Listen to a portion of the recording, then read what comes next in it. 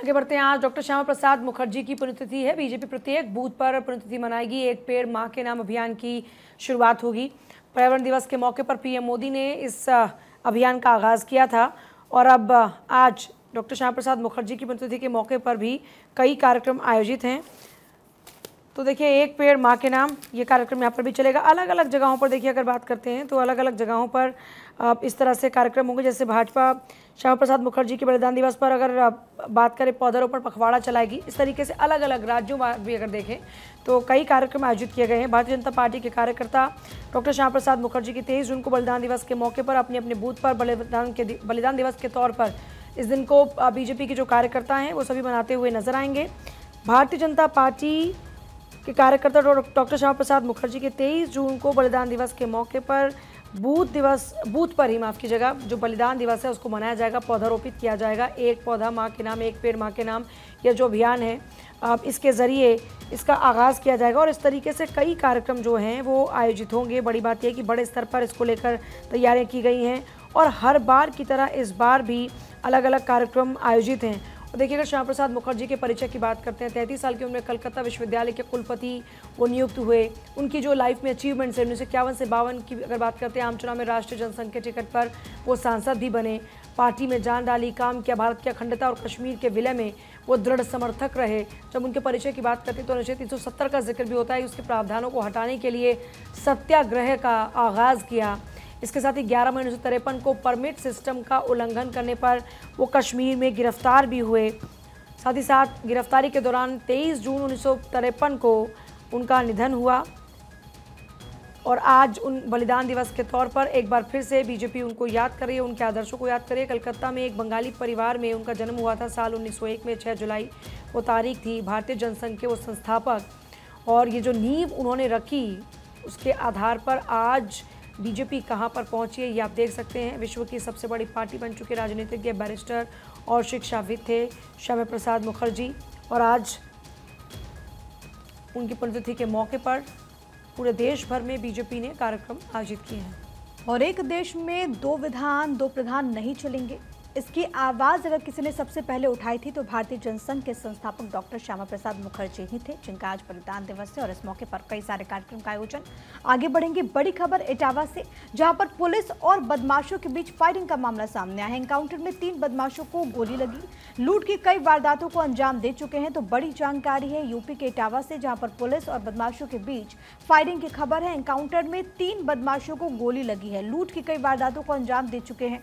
हम देख रहे हैं कि किस तरीके से अलग अलग जगहों पर पुलिस पूरी तरीके से यहाँ पर एक्टिव नज़र आ रही है। और सबसे बड़ी बात है यूपी में जिस तरीके से लॉ एंड ऑर्डर को लेकर के मुख्यमंत्री खुद बेहद सख्त रहते हैं। और इसी के बाद जब इन्फॉर्मेशन मिली, जब जानकारी मिली तो पुलिस यहाँ पर पहुँचती है। इस दौरान बदमाशों ने भी फायरिंग की। एनकाउंटर में तीन बदमाशों को गोली लगी है। जो बड़ी खबर है वो ये कि इनकी संलिप्तता कई सारे मामलों में थी। कहा जा रहा है कि लूट की वारदातों को भी ये अंजाम दे चुके हैं। ज़ाहिर है कि अब इनसे पूछताछ की जाएगी कि आखिरकार जिन घटनाओं में इनकी सहभागिता रही। आखिरकार कैसे उनको अंजाम दिया गया? क्या इस गिरोह का और भी कोई सदस्य है जो कि इनके कांटेक्ट में था, जो इनको मदद पहुँचा रहा था।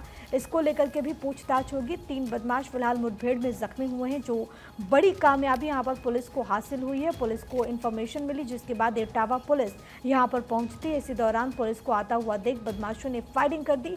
क्रॉस फायरिंग में तीन बदमाश जो कि जख्मी हुए, जिनका फ़िलहाल इलाज अस्पताल में चल रहा है। वहाँ पर सिक्योरिटी कड़ी कर दी गई है। इटावा से बड़ी खबर है, लगातार अपराध पर अंकुश लगाने की सरकार की कोशिश और ऐसे में इटावा पुलिस को मिली है एक बड़ी सफलता।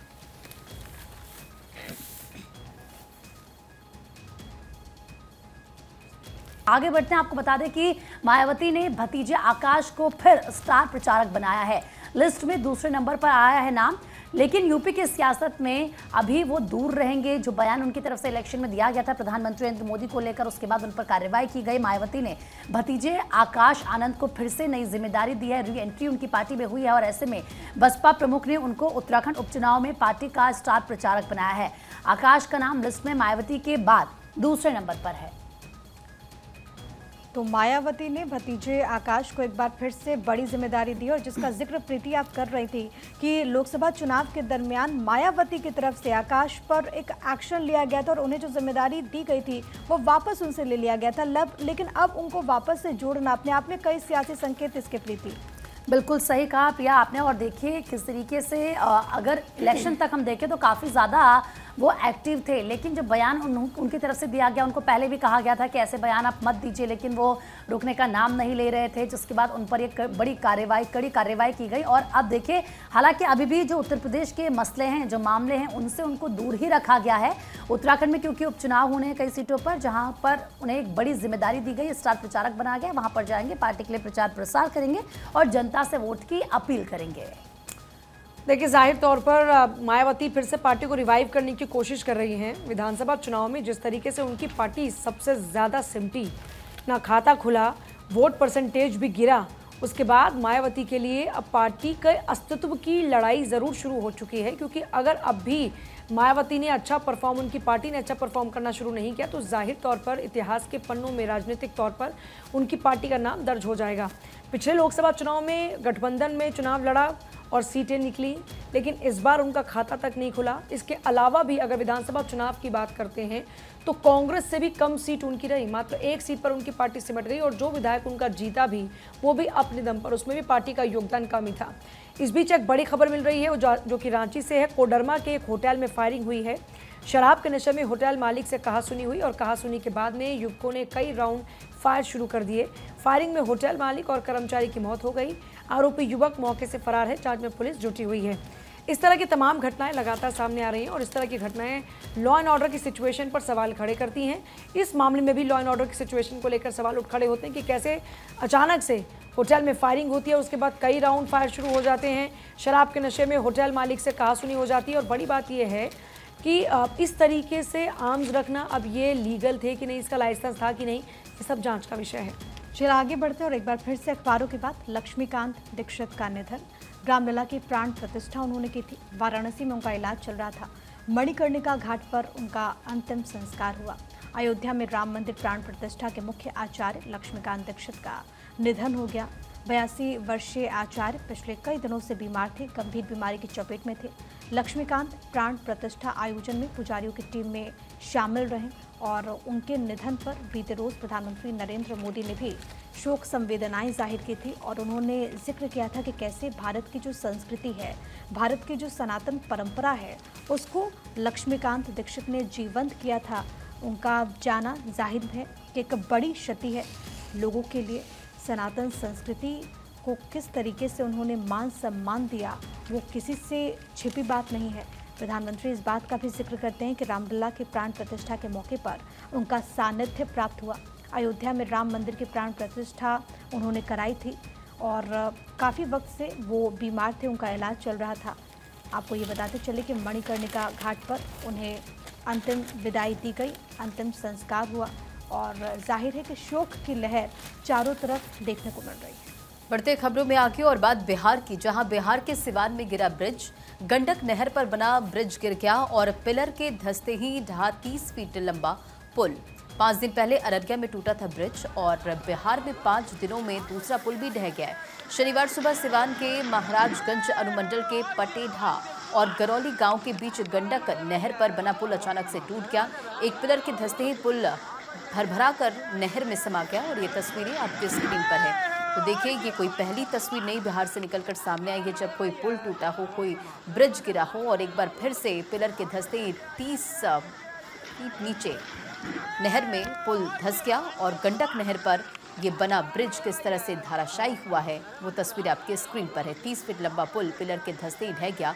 बिहार के सिवान में ब्रिज गिरा है और ये तस्वीर पाँच दिन पहले अररिया में भी पुल टूटा था। और 40 साल पहले ये ब्रिज बनाया गया था, लेकिन सोचिए 40 साल ज़्यादा कोई लंबा वक्त नहीं होता है। लेकिन जिस तरीके से पुल धराशाही हुआ है, अगर कोई व्यक्ति इससे गुजर रहा होता तो उसकी क्या हालत होती, कितनी गंभीर चोटें आ सकती थी, आप समझ सकते हैं। और अगर आप तस्वीरों को गौर से देखेंगे तो आपको पुल के उस पार कुछ लोग नज़र भी आ रहे होंगे जो शायद ब्रिज को क्रॉस करने ही वाले थे। लेकिन उससे पहले ये पूरा जो ब्रिज है ये गिर गया। और देखिए, शायद जो मरम्मत इस ब्रिज की होनी चाहिए थी, वक्त रहते मेंटेनेंस का जो काम था, होना चाहिए था, वो नहीं हुआ।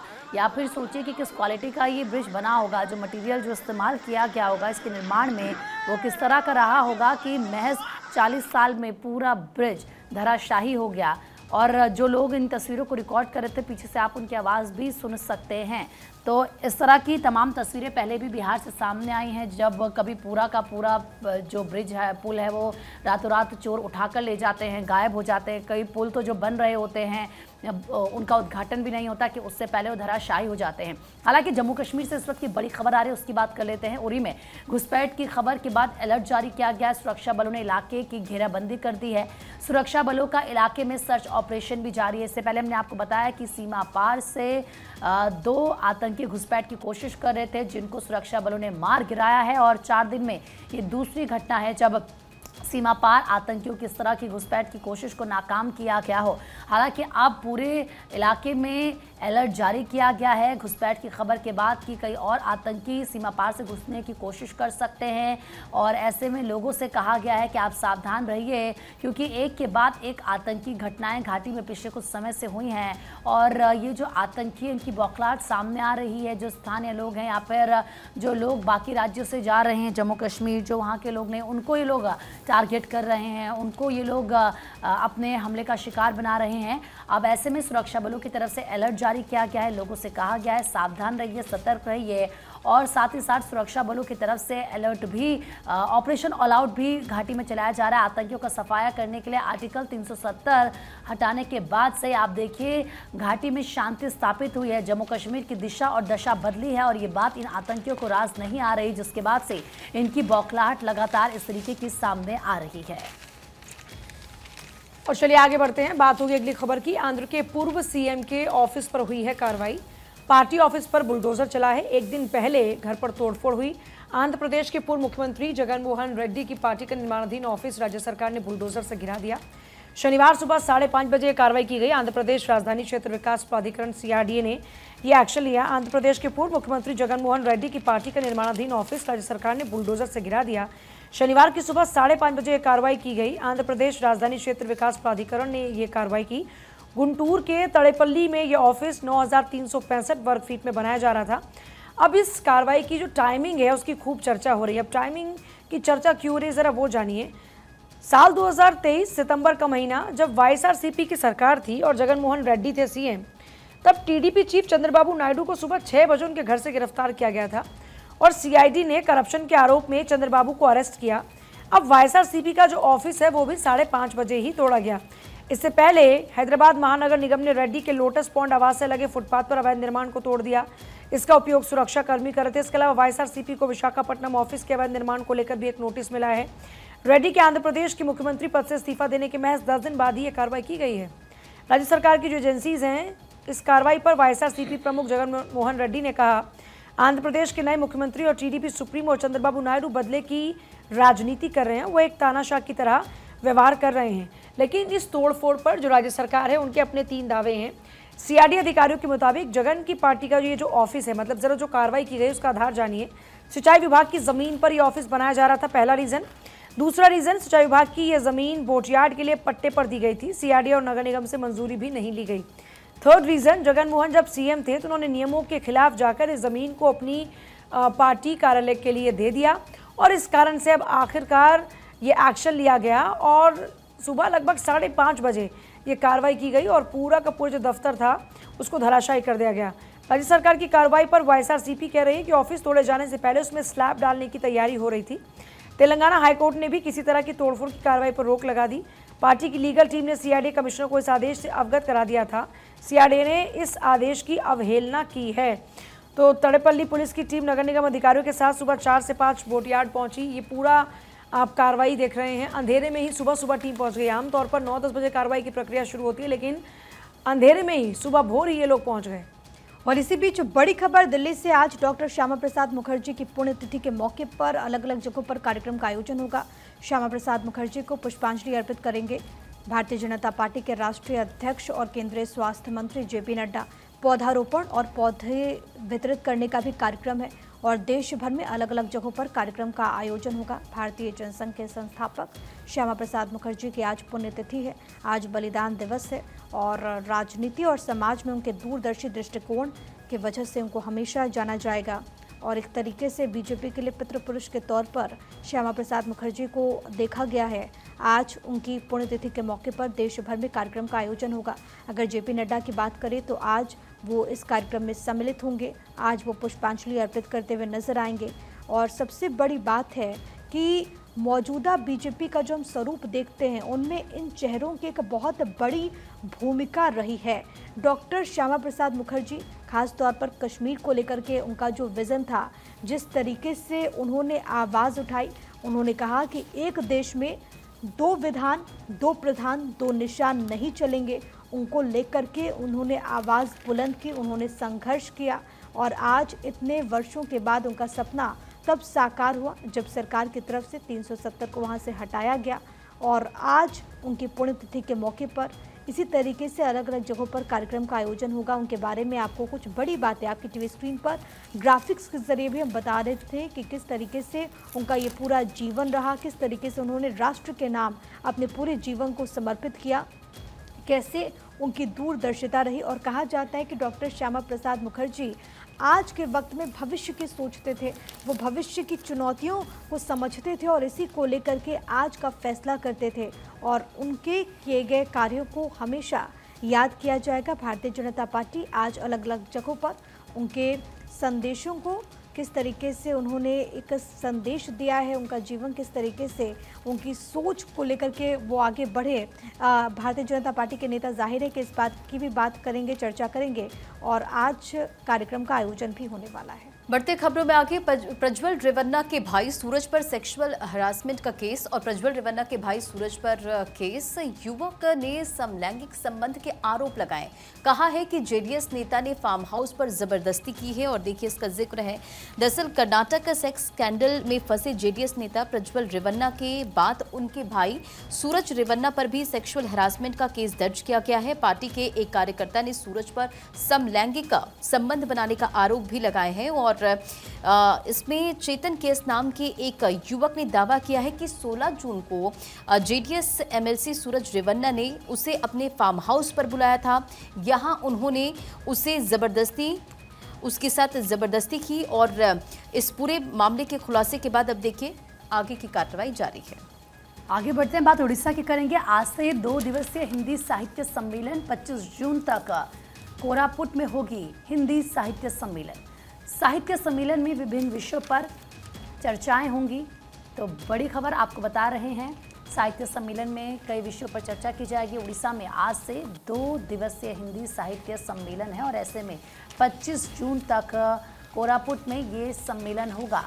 साहित्य सम्मेलन में कई विषयों पर परिचर्चाएँ होंगी और देखिए कितना ज़्यादा ज़रूरी हो जाता है क्योंकि हिंदी को लेकर गृह मंत्री अमित शाह ये कहते आए हैं कि हिंदी एक ऐसी भाषा है जो सबको आनी चाहिए, ख़ासतौर पर दक्षिण के राज्यों को लेकर भी उनकी तरफ़ से कई बार इस बात का ज़िक्र किया गया है। और ऐसे में जब आज से दो दिवसीय हिंदी साहित्य सम्मेलन होगा तो ज़ाहिर सी बात है वो तमाम लोग जो हिंदी को लेकर काफ़ी ज़्यादा इच्छुक रहते हैं पढ़ने, सीखने में, जिनकी एक अलग दिलचस्पी नज़र आती है, आज वो तस्वीरें देखने के लिए भी मिलेंगी। ओडिशा में दो दिवसीय हिंदी साहित्य सम्मेलन का आयोजन होने वाला है। 25 जून तक कोरापुट में ये सम्मेलन होगा और बेहद अहम है क्योंकि एक तरफ़ ओडिया संस्कृति को कैसे सजोना है, भारतीय जनता पार्टी की ओर से इस पर भी फोकस होता है। लेकिन सबसे बड़ी बात, क्योंकि जब हम बात करते हैं हिंदी की तो कैसे ये हमारी पहचान है?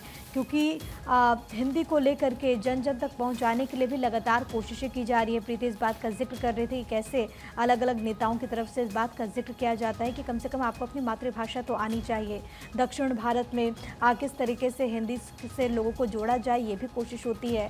तो ऐसे में जो नॉन हिंदी बेल्ट है उसमें ऐसा कार्यक्रम होना अपने आप में बेहद ज़्यादा महत्वपूर्ण है। उड़ीसा में दो दिवसीय हिंदी साहित्य सम्मेलन का आयोजन होगा। इसमें साहित्य से जुड़े कई जो बड़े चेहरे हैं वो भी आपको नज़र आएँगे हिस्सा लेते हुए।